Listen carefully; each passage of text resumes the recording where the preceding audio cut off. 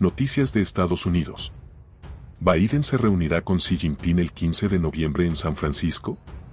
Amigos, el conflicto en Israel, el combate contra la producción de químicos que acaban vidas y la interferencia electoral son algunos de los temas que se prevé discutirán los mandatarios. Patriotas, Biden Dormilón y su homólogo chino, Xi Jinping, se verán las caras en San Francisco el miércoles 15 de noviembre. Ha pasado un año desde la última vez que se reunieron, cuando mantuvieron un encuentro bilateral antes de la cumbre del G20 en Bali.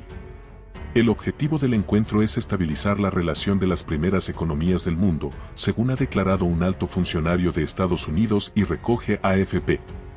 Los líderes abordarán asuntos de interés en su relación bilateral, la importancia de fortalecer las líneas de comunicación abiertas y la gestión responsable de la competición, así como toda una gama de asuntos regionales, globales y nacionales, sostuvieron altos cargos estadounidenses en conversación con el país.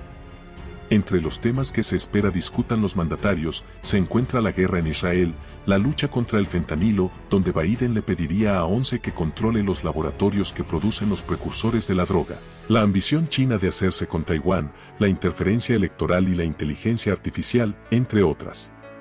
Nos preguntamos, ¿será una oportunidad para corregir rumbo?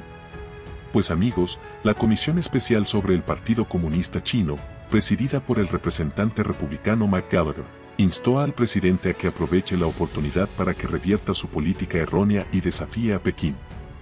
En una carta dirigida a Biden, 13 congresistas republicanos elogian algunas medidas de la administración, como los controles a la exportación de semiconductores, pero señalan que la mayoría de las acciones, que se han tomado con la intención de apaciguar a Beijing, no han surtido efecto.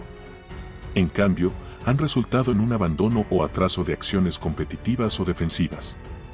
Le reprochan, asimismo, que no haya impuesto ninguna sanción a altos cargos del Partido Comunista o de Hong Kong por la erosión de la autonomía de Hong Kong o los abusos contra la minoría uigur en Xinjiang. Las acciones del gobierno estadounidense no han logrado, por ejemplo, Obligar a China a actuar frente a la exportación de sustancias necesarias en la producción de fentanilo o para detener su campaña de espionaje sin precedentes contra Estados Unidos. Por otro lado, patriotas, los miembros de la comisión también recomendaron una serie de compromisos que el demócrata debería intentar conseguir del mandatario comunista.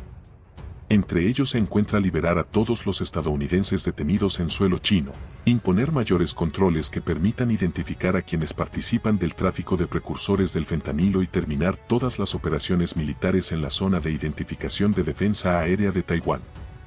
Y tú dime, ¿qué opinas? Dios los bendiga a todos.